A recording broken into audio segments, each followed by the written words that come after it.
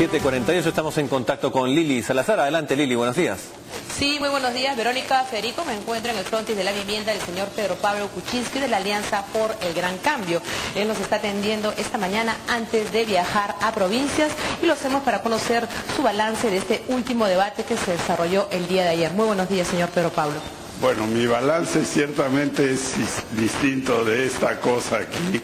Esto se llama periodismo y es una verdadera vergüenza. A ver, ¿qué cosa? ¿Qué es lo que todo comprado. ¿A qué se refiere? Por el señor Toledo, falta de objetividad. A ver, a ver, ¿cuál, si cuál nos es, permite, no, Lili, no, no, no, se ha podido volver a abrir exactamente qué es lo que dice. ¿no? la pantalla. ¿Y qué es lo que dice? Si nos puedes describir la portada de repente. Yo, considero que esto es una vergüenza. ¿Qué, ¿A qué yo se no refiere? Digo que yo gané.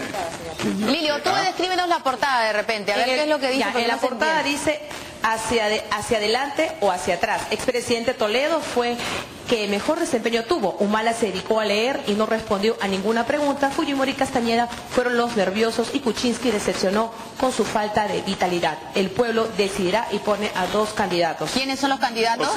El señor Toledo y el señor Ah, Humala. ya. A eso se refiere el señor. Qué vergüenza. Yo soy partidario de la libertad de prensa, pero este tipo de falta de objetividad realmente es una vergüenza. El señor Tafur debería buscar otro trabajo. Él tiene buena fama, pero con esto la pierde en un segundo. Ahora, ¿qué pasó en el debate? Yo, yo creo que fue un debate bueno. Algunas cosas no se contestaron para un futuro debate, que lo habrá seguramente en segunda vuelta, hay que buscar un formato más sencillo, porque aquí había cinco bloques con cinco oradores, en tres de ellos había ponencia, dos preguntas, respuesta, es un total de 85 ponencias en total, ¿no? Correcto. Y eso al televidente yo creo que lo marea un poco. Un poco.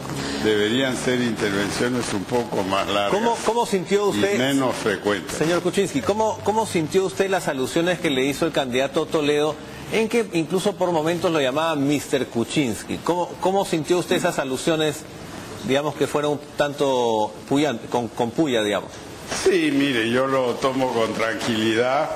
Eh, como dije luego en creo que este mismo canal, eh, yo soy peruano de nacimiento, he completado el proceso en la Embajada Americana, entonces, ¿de qué está hablando el señor Toledo?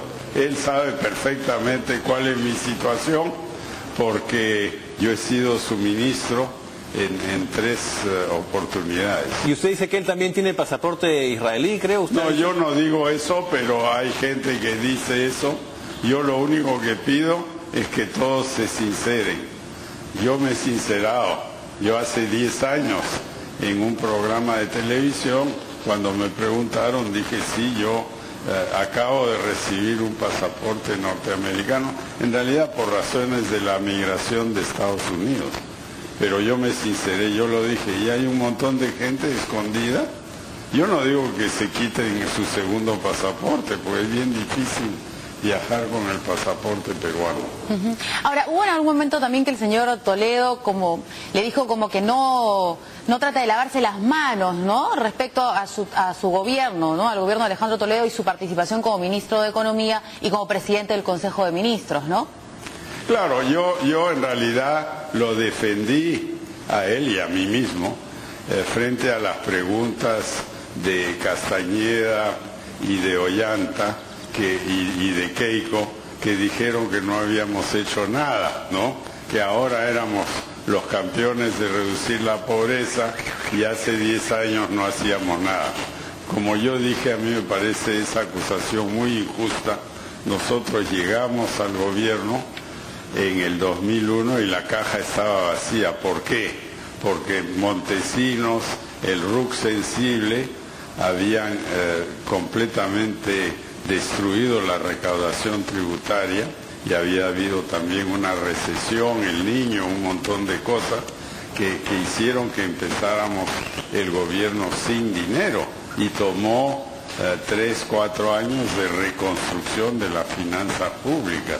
Yo creo que hay que poner las cosas en perspectiva. Señor Kuczynski, queda solamente una semana o menos eh, y usted, digamos, ha crecido muchísimo. Su candidatura ha sido quizá la que porcentualmente ha tenido mayor crecimiento, pero eh, tiene la siguiente dificultad. Ha crecido mucho en los eh, estratos socioeconómicos A a B, pero en el DE tiene muy poco y parece no poder crecer mucho más. ¿Qué, ¿Cómo va a reenfocar su campaña para captar la parte que no tiene de preferencias electorales? Bueno, yo creo que hay que mirar todas las encuestas, la de analistas y consultores que salió anoche me pone empatado con No, no podemos referir a resultados. Eh, hablemos, hablemos términos generales porque por ley no podemos referir a los resultados de las encuestas. no se puede hablar sobre encuestas, si no nos multan. Eh, Pero digamos genéricamente se puede hablar. Sí, claro. Eh, nosotros, nuestra táctica ha funcionado, hemos subido de dos a 22, según lo que acabo de mencionar, y estamos trabajando el C fuertemente. Ayer el diario eh, La Industria en Trujillo mencionó que nosotros éramos primeros ahí. Eh, estamos empatados en el primer lugar en Arequipa, estamos fuertes en el Cusco, en Puno, estamos trabajando mucho el C y el D también en los mercados. Entonces yo creo que eso va a producir... Eso quiere decir que durante esta última semana la estrategia va a ser ir al interior del país. No, también tenemos cosas en Lima, por ejemplo, mañana tenemos en Gamarra eh, un concierto y presentación de Miguel Ángel Cornejo. Eh, eso yo creo que es muy importante. Pero definitivamente... candidatos han ido a Gamarra?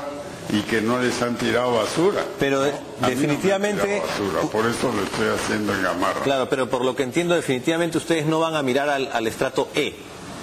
El estrato E yo creo que eh, sí hay que trabajarlo. El estrato E está en los barrios más pobres de las grandes ciudades y está en las zonas rurales. Y sí lo vamos a trabajar, tenemos grupos de trabajo en el Cusco, en Puno, en Cajamarca, en Ayacucho, que están visitando esos lugares. Y con respecto al debate, eh, ¿cuál es su opinión? Según usted, ¿quién, ¿quién habría ganado, quién llevó más para su molino, más agua para su molino después del debate? Según, eh, según la cadena de radio más conocida aquí, eh, yo saqué anoche 21 mil votos y el siguiente que es el, que influencia este diario, aquí está nuevamente, él sacó 10 u 11, ¿no? Entonces, eso es todo lo que puedo decir. Ahora, yo no me voy a vanagloriar y, decir que yo gané o perdí o nada. Eh, yo creo que la opinión pública debe juzgar eso. ¿Va a iniciar algún tipo de proceso contra este diario? Porque lo vemos bastante molesto. No, no, no, no, no. Yo creo que es simplemente el desprestigio de alguien que fue un gran periodista y hoy es una persona que trabaja para billete nada más, no tiene Pero esa es una, una denuncia grave, ¿no? ¿Usted tiene alguna prueba de esto? Pues aquí está la prueba. Aquí no hay necesidad de ir muy lejos, ¿no? Eh, aquí el, el candidato Toledo tiene muchos fondos ha, eh, conseguido este diario, él lo ha creado y es bueno, eso, sí tiene que, ¿Cómo, lo, ha creado? Eso tendría que probarlo usted. ¿Cómo, es que el candidato Toledo eh, sería el propietario de este diario? Digamos, es lo que usted quiere decir. No sé si es legalmente el propietario, pero es ciertamente la persona que manda, ¿no? Por eso le preguntaba yo si usted tiene alguna prueba alguna prueba de ello. Nos habla de ah, una portada. es bien fácil conseguir las pruebas de eso. ¿Y lo va a hacer usted? No, no, no me interesa.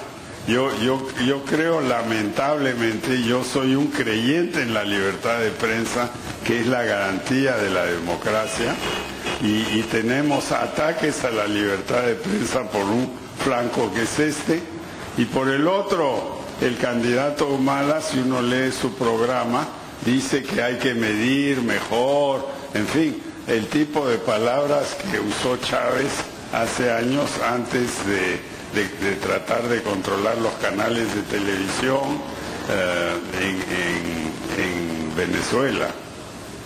Correcto. Muy bien. Muy bien, muchas gracias, mucha suerte en este tramo final de la, de la campaña y seguramente nos volveremos a ver en, en algún momento antes del, del 10 de, de abril.